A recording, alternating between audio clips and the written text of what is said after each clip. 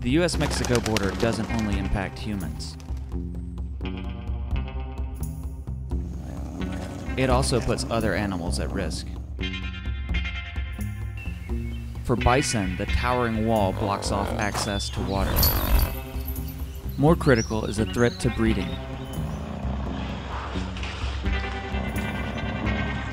The wall separates communities like American black bears, bighorn sheep, and red-legged frogs. Each year, mating becomes harder and harder.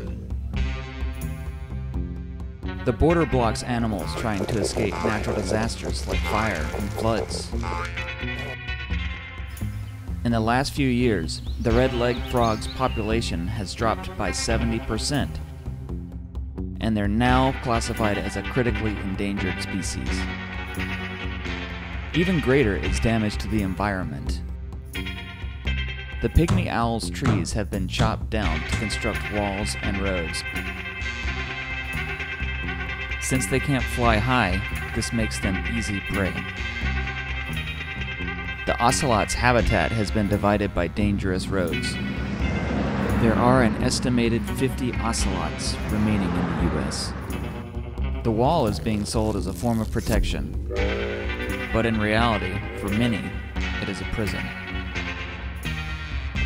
We must preserve migration corridors to protect endangered animals.